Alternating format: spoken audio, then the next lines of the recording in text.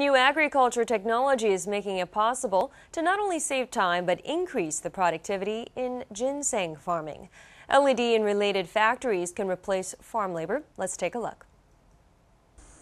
Ginseng has been highly acknowledged as a specialty of Korea. However, due to the high production costs, long-term and repeated cultivation, plus abnormal weather changes, it's hard to produce it in a stable maintenance condition.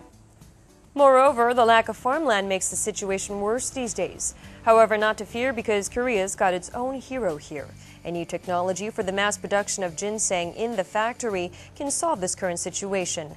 This technology involves Krypton, a 150 square meter size factory with light emitting diodes or LED and a special medium. While controlling the amount of light, moisture, and wind by computer, this new technology is creating the optimal environment for raising ginseng. It's even eco-friendly since there's no need to use agricultural pesticide.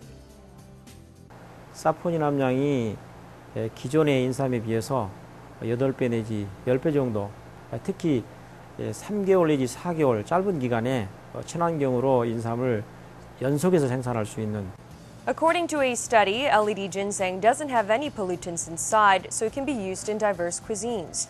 Meanwhile, experts say that this technology costs a lot to start up, with 6,000 to 7,000 for every 3.3 square meters. Aside from boosting productivity, reducing the initial investment costs is a major problem to solve. 의약품이라든지 화장품, 건강기능식품 이런 원료로도 각광을 받을 것으로 전망이 됩니다. 앞으로는 가공, 이용 기술까지 연계해서 Growing ginseng in the factory. Many experts say that this new technology is not only a staggering innovation, but also a technology intensive trial which will enhance productivity and added value.